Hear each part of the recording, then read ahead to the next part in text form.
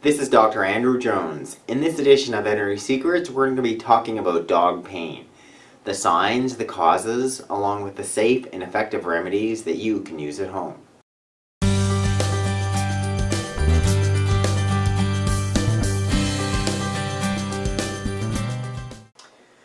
So if you suspect your dog is in pain, the first thing you want to start out with is having a basic veterinary exam.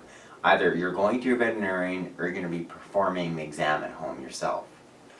For instance, Lewis here, he's been limping on his front left leg and in part what I've done is done a basic exam of him. You know, I've started out by palpating his toes, I moved up to palpate his wrist, his carpus, and found on palpation that he was a little bit tender on palpating his elbow.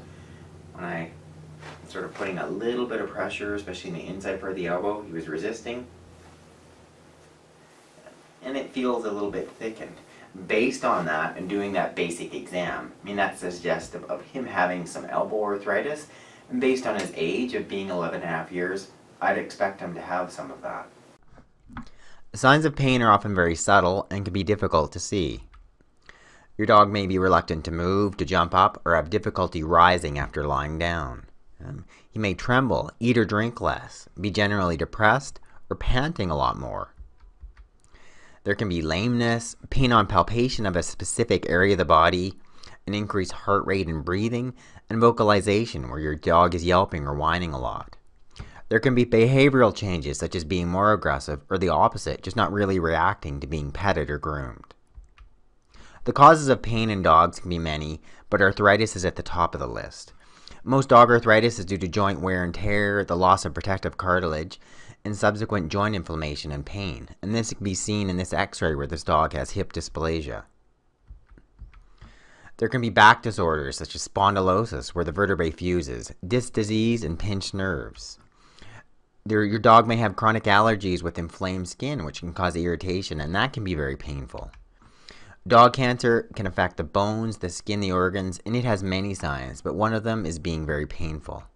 And then there can be dental disorders, such as a tooth root abscess. It can, it can be very painful.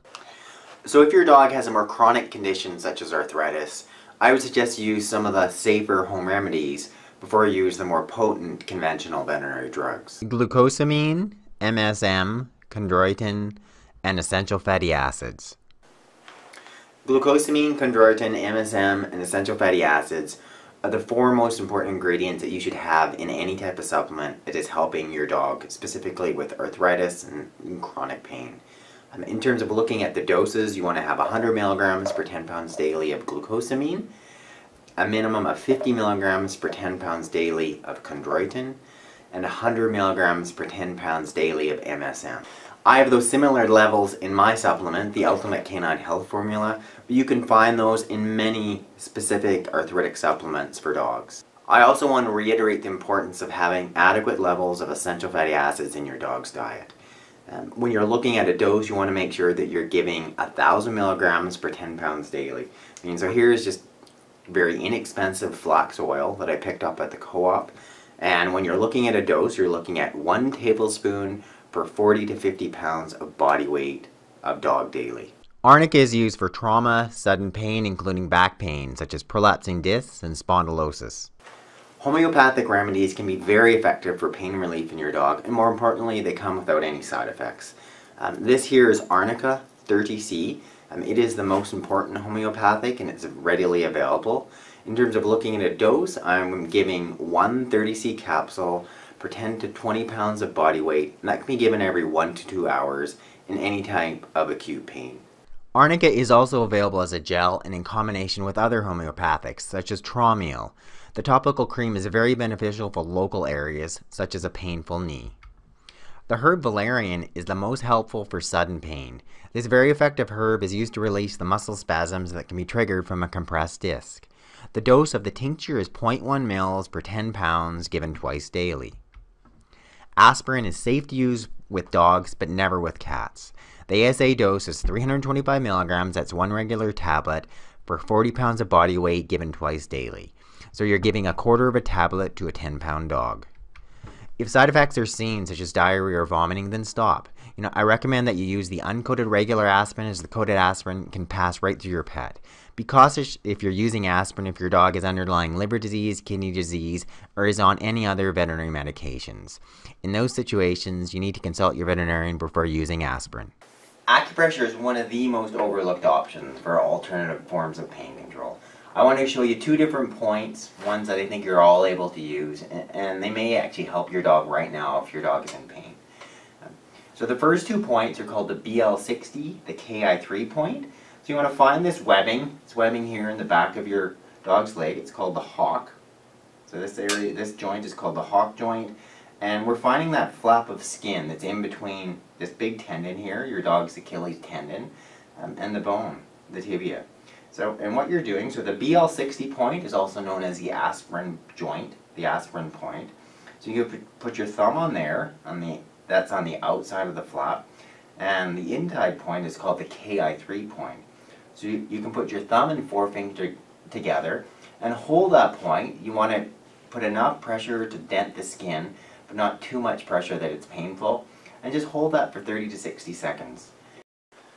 The next healing touch technique I want to show you is massage.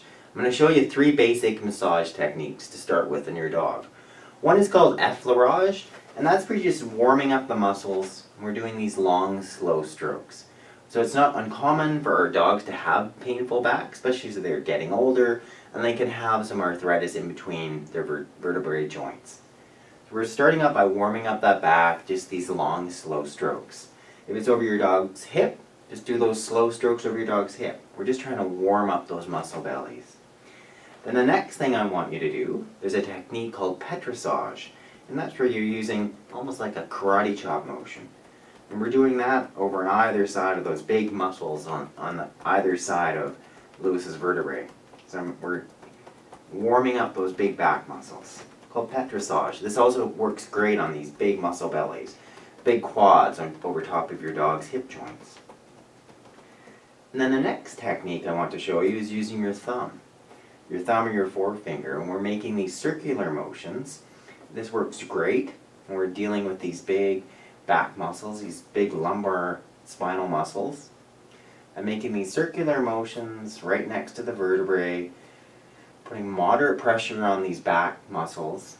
And then if I find an area where there's almost feels like a little bulge or a little knot in that muscle belly, that's more indicative of a, a muscle that is in some form of spasm. So what you want to do then is Put moderate pressure on that spasm area. Hold that for 30 to 60 seconds and then release. So those are three key basic massage techniques that really can help your dog if they're in pain. Thank you for watching this edition of Veterinary Secrets.